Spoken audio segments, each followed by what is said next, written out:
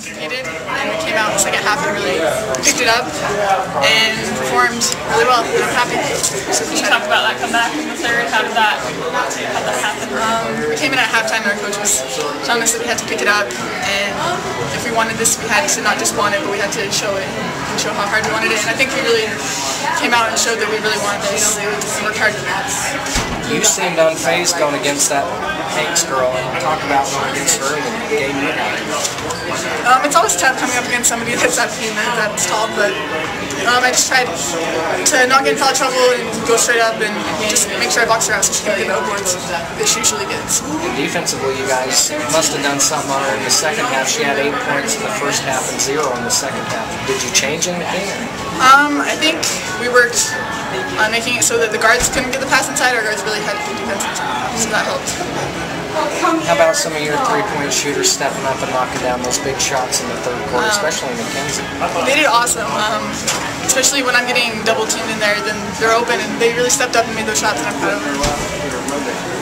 Talk about the free throws that kept you in the game there in the first half when, when Salem kind of broke a lead and then you guys uh, struggled a little bit down the stretch, but were able to stretch, but were able to make enough.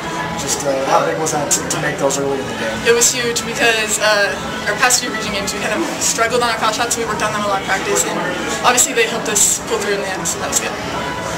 Possible rematch uh, looming if Skyview wins this one. You guys can meet for the third time this season and you, you split the Yeah. regular season. What would it be like to uh, to uh, play a, a Valley rival for the chance to go to the state championship? Um, it'd be fun. It'd be really intense, that's for sure. I mean, I know a lot of the girls who play club together, so it's an intense rivalry, but they're great people. Would you like another shot at it? Um, yeah, I'd like another chance in Springville too, though.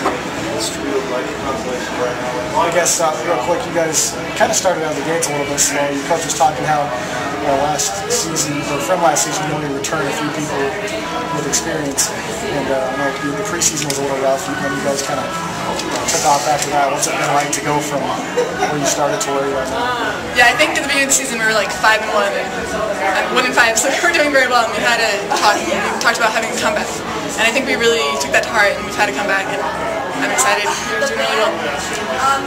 You, you and Emily seem to come up pretty big, you know, in these big games. You know, how is it that you, you two are able to, you know, come up big? Um, I think we're the starting seniors, and I think we just take it upon ourselves to kind of step up and help our team in any way that we can. Um, I know you're going against Alyssa, and she has a little bit of a height advantage. Uh, did that pump you up? Did it fire you up for this match? Um, yeah, it's exciting to always play tall, taller people. I mean, I'm not the tallest in the post, I'm the tallest on our team, but that doesn't really mean much. But um, it's fun. I think it's a good challenge.